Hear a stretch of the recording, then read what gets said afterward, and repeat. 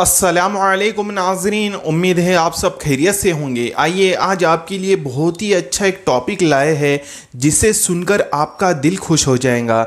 जैसा कि होलसेल दुकान डाले या फिर रिटेल दुकान डाले, इसमें से कौन से ज़्यादा सबसे ज़्यादा फ़ायदेमंद होगा, इस पर गुफ्तगु करेंगे। आप इस वीडियो को शुरुआत से लेकर एंड तक देखिए, क्योंकि बहुत अच्छी इसमें इनशाला मालूम मिलने वाली है। जैसा कि आप लोगों ने देखा होगा कि हम दुकान या कोई बिज़नेस शुरू करने से पहले ये सोचते हैं कि कौन सा बिज़नेस खोले या फिर कौन सा जो है ना रिटेल खोले क्या होलसेल खोले किसमें ज़्यादा प्रॉफिट है किसमें ज़्यादा मुनाफा है और किसमें ज़्यादा ग्रोथ है? तो इसके बारे में डिस्कस करते हैं। जैसा कि रिटेल बिज़नेस के बारे में आपने देखा होगा कि रिटेल बिज़नेस लिमिट लिमिटेड जो है ना उसकी ग्रोथ रहती है, क्योंकि कैसा इसमें ज़्यादा जो है ना सेल नहीं होता, क्योंकि जिसका भी समझ लो पाँच छः हज़ार रुपये रोज़ का धंधा होता होगा बिज़नेस होता होगा फिर सीज़न में आठ, दस हज़ार, बीस हज़ार, पच्चीस हज़ार के ऊपर जाता नहीं। और समझ लीजिए, इसके अंदर ज़्यादा ग्रोथ भी नहीं है रिटेल बिज़नेस के अंदर। क्योंकि कैसा है रिटेल बिज़नेस आज जो है ना, बहुत तेज़ी के साथ में बहुत ज़्यादा दुकाना बढ़ चुकी है कंपटीशन बढ़ चुका है, और इसके अंदर ग्राहकी कम हो चुकी है। और हर गाँव गाँव छोटे छोटे शहरों के अंदर दुकानें बहुत हो चुकी है रिटेल की। तो इसके अंदर कैसा हो गया है, अभी रिटेल के अंदर बहुत ज़्यादा कॉम्पिटिशन भी है, और दूसरी बात जो है इसके अंदर ग्रोथ भी कम मिल रही है। तो आप सबसे ज़्यादा ज़्यादा जो फ़ायदेमंद जो बिज़नेस है, वो होलसेल बिज़नेस है। क्योंकि कैसा है होलसेल के अंदर ग्रोथ अच्छी होती है फास्ट सेलिंग होती है, माल जल्दी सेल होता है और आप क्वांटिटी में माल बुलाते हैं और क्वांटिटी में माल जाता है तो आपको अच्छा प्रॉफिट बचता है। जैसा कि समझ लीजिए, आप रिटेल की दुकान में पाँच से छः हज़ार पाँच हज़ार रुपये भी आपने उसमें बिज़नेस करा, धंधा करा और उस पर थर्टी परसेंट भी आपका प्रॉफिट है। तो सिर्फ़ पंद्रह सौ रुपये आपके जो है ना बनते हैं। और वही अगर आप होलसेल आपकी दुकान है और रोज का एग्ज़ाम्पल के तौर पे पचास हज़ार भी रोज का काउंटर रहा तो आप आराम से दस परसेंट के हिसाब से पाँच हज़ार रुपये कमा सकते हैं और डेढ़ लाख रुपये महीना होता है।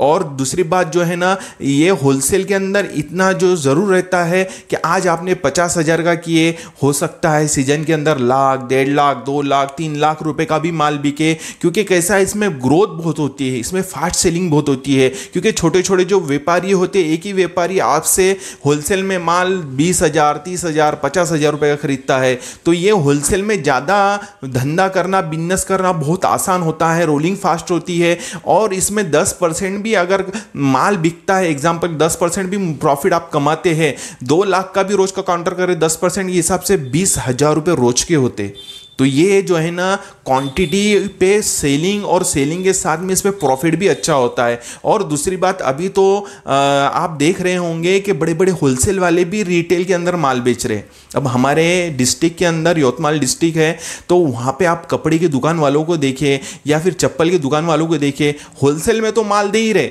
होलसेल वालों का फ़ायदा होलसेल में तो माल दे ही रहे। और साथ में जो रिटेल वाले भी आ रहे जो चिल्लर वाले एक पीस दो पीस लेने के लिए आ रहे उस पर बीस पच्चीस तीस परसेंट लगा के वो भी माल बेच रहे हो, उसमें भी ज़्यादा प्रॉफिट कमा रहे हो। क्योंकि कैसा है एक हमारा जो है ना, एक बहुत बड़ा व्यापारी है यवतमाल का अंडरवियर बनियन का जो माल है, वो कम से कम मेरे ख्याल दस से पंद्रह हज़ार रुपये का रोज का चिल्लर में माल बेच रहा है। चिल्लर में होलसेल की दुकान है। और होलसेल का जो काउंटर है, लाख से डेढ़ लाख, दो लाख रुपए रोज का काउंटर है उसका। तो वो देखो ना होलसेल वाला दो तरफ़ से पैसा कमा रहा। एक तरफ़ से जो है ना चिल्लर में माल बेच के भी कमा रहा और होलसेल में रोलिंग करके भी माल पैसे कमा रहा है। तो इसमें कितना ज़्यादा प्रॉफिट है, कितना अच्छा बिज़नेस है। आप मेरी एक जो है ना, मेरा खुद का एक सुझाव आप लोगों को रहेगा।